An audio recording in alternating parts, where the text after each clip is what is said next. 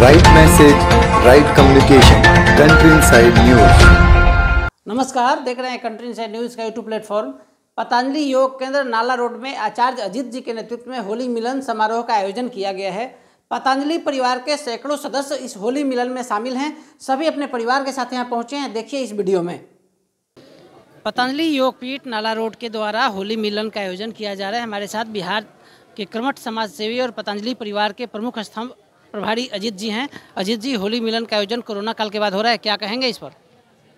सबसे पहले तो आपके चैनल के माध्यम से मैं पूरे बिहार और झारखंड के हमारे जो कार्यकर्ता हैं, पतंजलि परिवार के एवं आम जनों को मैं शुभकामनाएँ देता हूँ।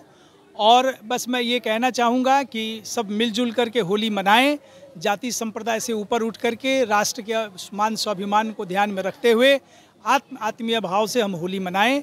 मैं आपके चैनल के माध्यम से ये बताना चाहता हूँ। तो आप सुन रहे थे अजीत जी को। अजीत जी ने होली मिलन का आयोजन करवाया है और हज़ारों की संख्या में लोग यहाँ पे पतंजलि परिवार के पहुँचे हुए हैं। आप देख सकते हैं यहाँ पे देसी ठेठ देसी भावना के साथ यहाँ पे होली का आयोजन किया जा रहा है। हमारे सहयोगी आशुतोष के साथ कौशलेंद्र पटना से। नमस्कार आप देख रहे हैं कंट्री इनसाइड न्यूज़ के डिजिटल प्लेटफॉर्म को। मैं हूँ सौरभ निगम। अगर ये खबर आप YouTube पर देख रहे हैं तो वीडियो को लाइक और शेयर ज़रूर करें और चैनल को सब्सक्राइब भी करें।